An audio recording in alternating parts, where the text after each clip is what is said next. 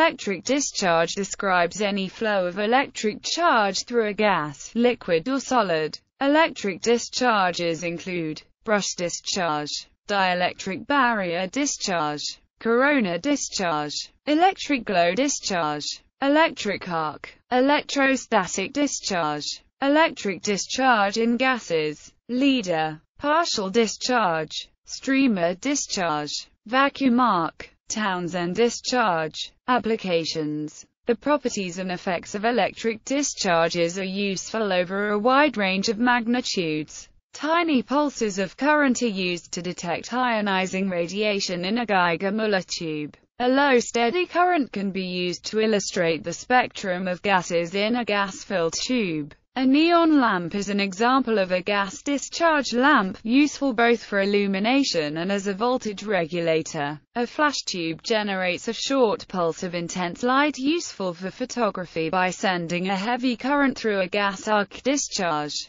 Corona discharges are used in photocopiers. Electric discharges can convey substantial energy to the electrodes at the ends of the discharge. A spark gap is used in internal combustion engines to ignite the fuel-air mixture on every power stroke. Spark gaps are also used to switch heavy currents in a Marx generator and to protect electrical apparatus. In electric discharge machining, multiple tiny electric arcs are used to erode a conductive workpiece to a finished shape. Arc welding is used to assemble heavy steel structures, where the base metal is heated to melting by the heat of the arc. An electric arc furnace sustains arc currents of tens of thousands of amperes and is used for steelmaking and production of alloys and other products. Natural phenomena St. Elmo's fire, lightning, electric organ,